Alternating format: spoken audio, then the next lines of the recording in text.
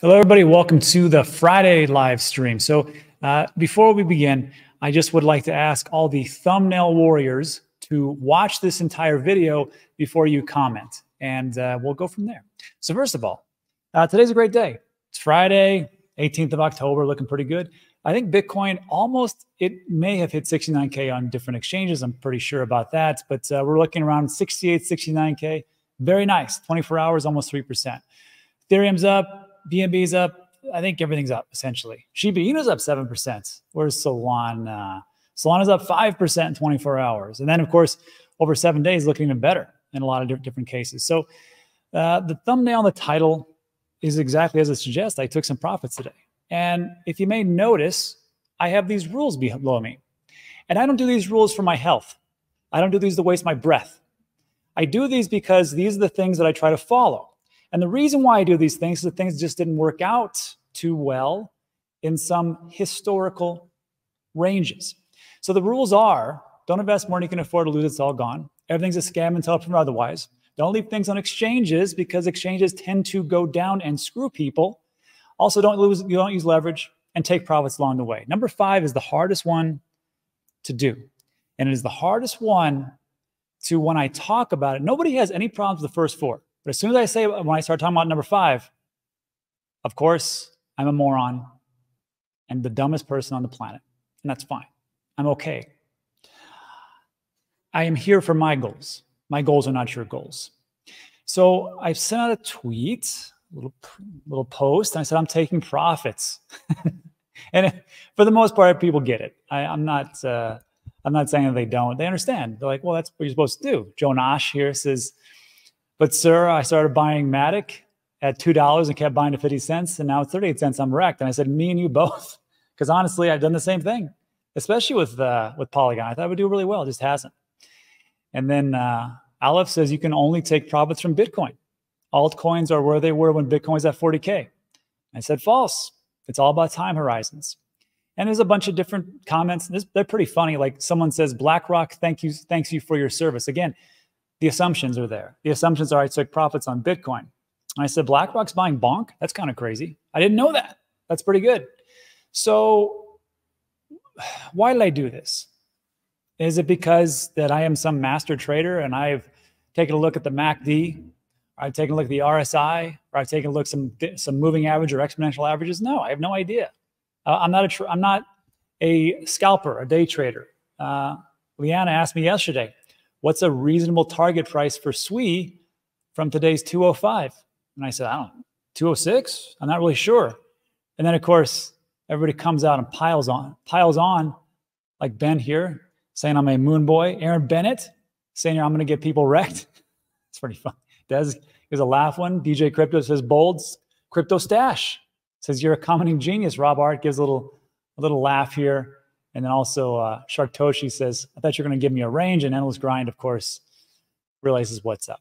So the question is why? Because I mean, look, you can look all around and there are no shortage of, of, of bullish videos. And I'm still very bullish on the market itself as time goes on.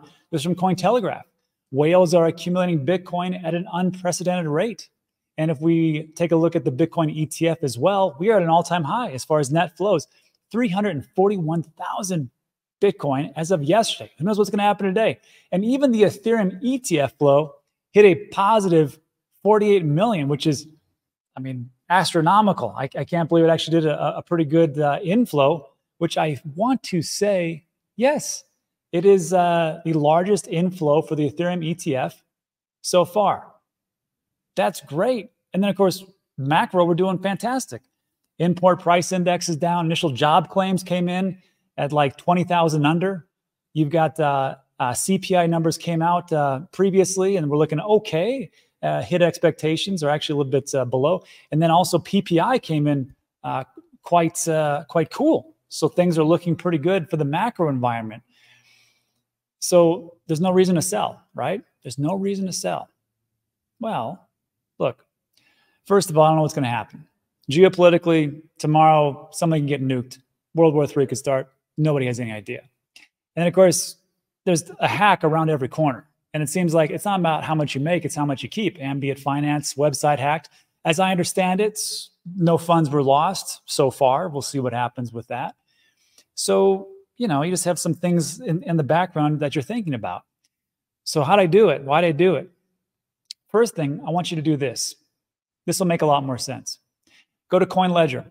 There's a link in the description. See right here, it says portfolio tracking. If you sign up for that, it's free. Actually, let me click on that. Learn more. And you just integrate your wallets and it, it tracks all your, your profits and losses. And what's also great is, you know, it's for your uh, uh, taxes at the end of the year. So here's the thing. This is an example. This, ob- this obviously doesn't make any sense because you've got, they're, they're just, they're just numbers. This I actually took them, this from their actual website. This is not my account. So what it's going to show you is like, hey, here's your cost basis because you understand this, right? If you buy a asset and you start it off and it's one of those at, let's let's say it's it's one Bitcoin at 20,000 and then you buy another Bitcoin at 40,000 somewhere around there, what's your cost basis? Well, like 30,000, right? So what this does, it'll tell you like, look, it'll add up all your buys because it has an integration with your centralized exchange or wherever you're actually has also for your decentralized exchange as well. And I'll tell you, here's your unrealized return. Your unrealized return for this crypto is 3,000. This crypto is 1,000. This is 650. These are unrealized returns. These are the gains that you have. On these other ones, you screwed up. Well, you didn't screw up. You just haven't waited long enough and you're down in the dumps. So now people will look at this and say, oh, well, Rob took $3,214.32 for, uh, for profits. No, that's not what I did.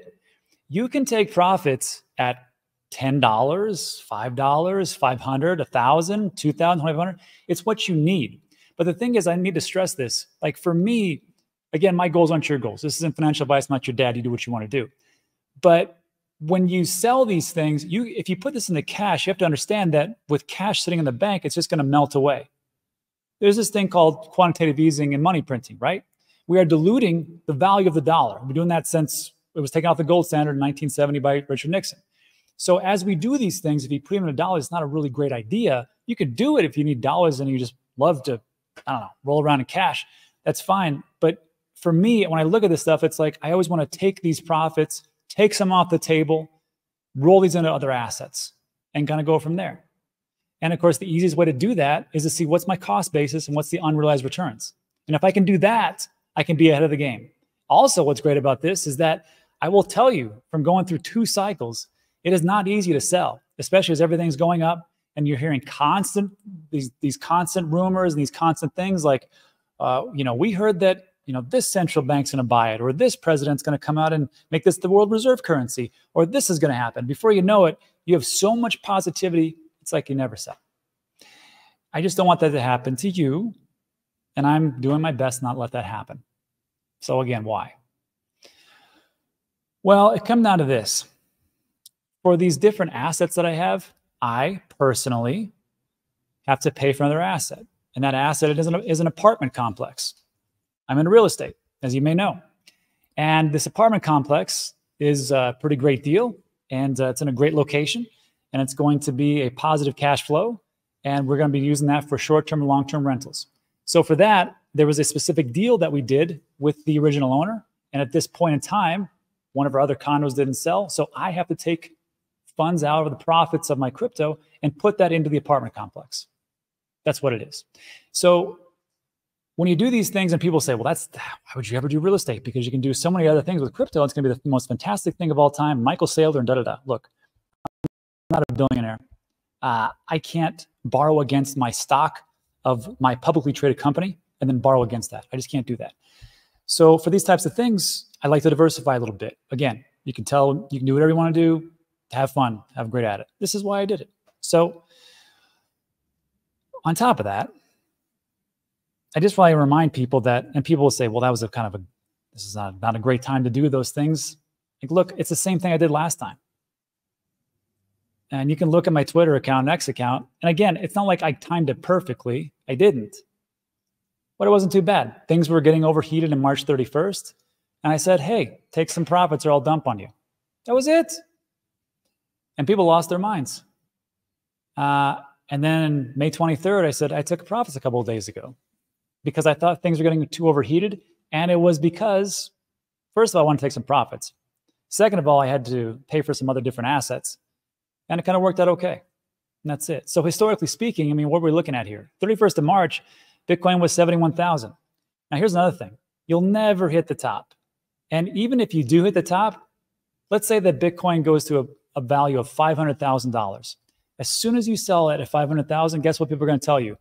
You're an idiot. Bitcoin is going to $3 million. Okay. Do you need that money? Do you need to do something? Do you want to put more assets? Do you need pay your bills? Do you need a new vehicle because you can't get to work because you have no car? Do you need a new kidney? I don't know, whatever it is. But I mean, speaking of which, I mean, Ethereum was 3,600 back at this time. BNB was 606. Solana was $202. XRP, watch out, 62 cents. Not too bad. Dogecoin was 22 cents. And this one, 19th of May, 2024, Bitcoin was roughly the same price, 66,000. Ethereum, 3,000, so on and so forth. But again, it's cost basis. And as you dollar cost average, you don't do just lump sums. I don't do lump sums. You can value cost average, but I don't dump everything because money is coming in. As money comes in, you buy other things. So what I bought, what I what did I uh, sell off today? Well, a little Doge. But remember, all of us here are not tourists. We have all been doing the thing we were supposed to do, which was buying in the bear market and we have been accumulating, right? So with just 24 hours, Doge is up 15%. And I've been buying for quite some time. I mean, since 2022. So it wasn't a bad day to take some take some things off the table. And again, how did I know what to do? Very simply, I just went to this, I just did a free portfolio tracker, checked out my unrealized returns. I said, oh, well, I've got this much. Maybe I should take some off the table so I can pay for this apartment complex. Great. Bonk. I sold some bonk. But remember, because people will say, I should have sold some back here, damn it. I didn't. Sold some other stuff. But I've been accumulating this range over here, and there was some pretty good profits, so I took some off the table. Solana, also great profits. Buying here at whatever it was, I took some off the table. Not, I didn't hit the top. Not having it all. I'm not going to try to say I did, but it was somewhere around here. And then, uh, you know, today you just accumulate and take a little profits. And also, there's one called Aethir. Now, I got an early on Aethir, and I had, uh, I think it's going to be great. But again, you don't sell everything. You just take some off the table, and then you're just playing with house money. So that's uh, essentially what I did. I hope that makes sense. I hope you guys can uh, understand. I don't say these these rules just because they sound good or they sound conservative. I try to walk the walk. And uh, this was not a, going to be, this probably will not be a popular video, but it is what it is. So that's what we have. So look, if you like today's video and you're not a thumbnail warrior and you figured it out, thumbs up, subscribe, all that good stuff. Now, if you want to go over and do a little Q&A, answer all your questions, and there's tons of them, and we'll go from there. If you got to take off, take off. Thanks for stopping by on a Friday. Good for you.